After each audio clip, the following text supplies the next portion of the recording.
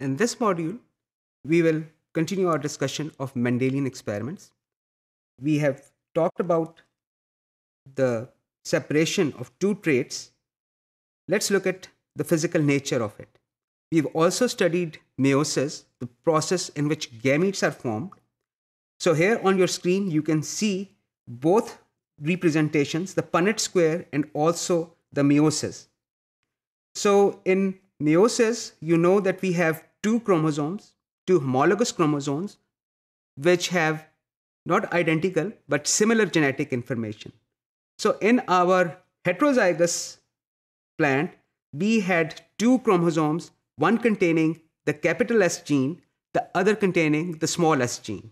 Capital S, the smooth seed, is dominant over the recessive wrinkled seed trait. When this plant capital S, small s is going to make its gamete, we will have the meiosis. We know the chromosomes will replicate, they will duplicate. We also know the tetrads will form in meiosis 1, and the two homologous pairs, two homologous chromosomes will separate. They will separate, and in meiosis 2, the chromatids, the sister chromatids, will also separate, resulting in production of haploid gametes. Gametes have half the number of chromosomes as compared to their parent. So this is what how we understand it today. But Mendel did not have this information available when he was doing his experiments. He was solely relying on the mathematical model and also the statistics he had accumulated. So Mendel's interpretation of this data was law of segregation. When any individual produces gametes the two alleles, allele we have already defined, two alleles separate so each gamete receives only one member of the pair of the alleles. Here on the screen, you can see that Mendel did not restrict himself to just the seed shape. He did similar experiments with other traits, other characters of the plant, but he always got the same result. When he crossed F1 generation the F2 generation had the same ratio. The ratio was 3 is to 1. 3 from the dominant, whether it was the seed shape, seed color, flower color, the, the shape of the pod, the color of the pod, whether the, it was the position of the flower, axil, or terminal flowers, or the size of the plant. So Mendel did not draw his conclusions just from one experiment. As you can see, he did thousands of these breeding experiments over the over several several years, and then he came up with his law of segregation.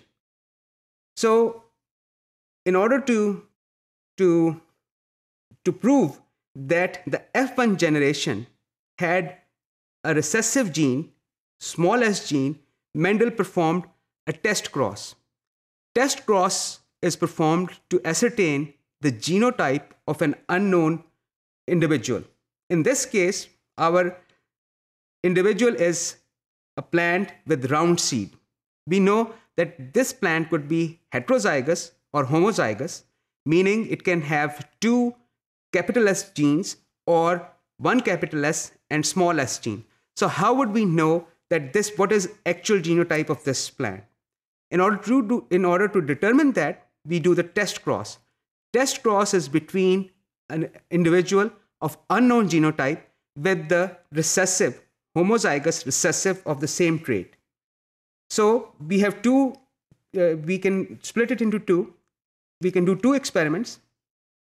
So if we cross this S question mark with SS, if the question mark is a capital S, then the result of the cross, cross this cross will produce all spherical seeds. None of them will be wrinkled because it has only the one of the parents only has capital S. It cannot contribute small s to the progeny.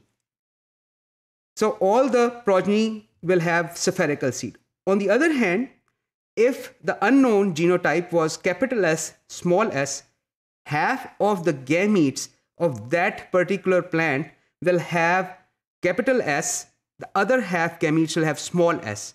When we do this cross, as seen in the, the Punnett square, you can see 50%, half of the, the progeny will have wrinkled seed and the other half will have the spherical seed. We will continue our discussion of Mendelian genetics in the next module.